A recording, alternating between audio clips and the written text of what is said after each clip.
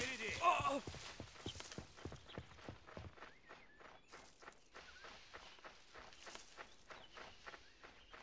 Второй и перенести огонь на новую цель!